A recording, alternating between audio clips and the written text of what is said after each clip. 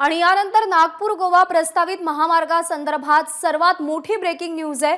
राज्य रस्ते विकास महामंडळानं निविदा मागवलेल्या आहेत आणि महाराष्ट्र शक्तीपीठ एक्सप्रेसवेसाठी आता हालचालींना वेग आलेला आहे. नागपूर गोवा प्रस्तावित महामार्गासंदर्भातली ही सगळ्यात मोठी बातमी राज्य रस्ते विकास महामंडळानं निविदा मागवलेल्या आहेत. अक्षय भाटकर आपले प्रतिनिधी सध्या आपल्यासोबत आहेत. अक्षय या प्रस्तावित महामार्गाचं महत्त्व नेमकं काय आहे?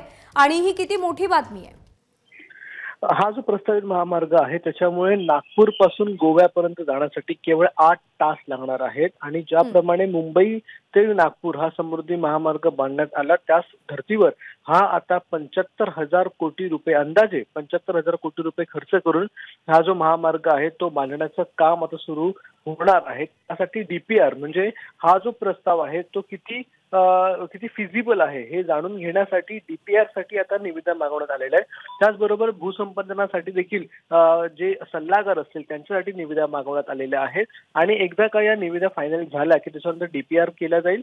आणि त्याच्यानंतर निविदा फायनल केल्याच्यानंतर हा मार्ग हा जर अस्तित्वात आला तर किती त्याचा फायदा होईल कशा प्रकारे फायदा होईल तो कुठून जाईल त्याचा रस्ता कसा असेल या सगळ्या संदर्भातल्या बोलणी जे आहेत किंवा जे हो, हो. अंतिम निर्णय जे आहेत ते घेतले जातील. मात्र सगळ्यात महत्वाचं जर सांगायचं झालं तर मुंबई नागपूर ते गोवा हा जो महामार्ग जर बन अस्तित्वात आला तर तो वेगवेगळ्या देवस्थानांना जोडण्यात येणार आहे. म्हणजे औंढा नागनाथ असेल तुळजाभवानीचं मंदिर असेल पंढरपूर असेल कोल्हापुरातलं महालक्ष्मी असेल आणि गोव्यातली देखील अनेक देवस्थानं जी आहेत या महामार्गाच्या काठावर असेल. त्याच्यामुळे मुंबई नागपूर ते गोवा हा जर महामार्ग निर्माण झाला तर अनेक देवस्थानाचं जोडण्यात येईल त्याचबरोबर ही जी कनेक्टिव्हिटी नवीन निर्माण होईल त्याच्यामुळे खूप मोठा फायदा हा महाराष्ट्रातल्या बारा जिल्ह्यातल्या बरोबर आहे. त्यामुळे या सगळ्यांचा मुद्दा या सगळ्या मुद्द्यांचा विचार करूनच हा महामार्ग अतिशय महत्त्वाचा आहे आणि विविध देवस्थानं जोडली जाणार आहेत त्यामुळेच कदाचित त्याला शक्तीपीठ महामार्ग असं नाव देण्यात आलंय.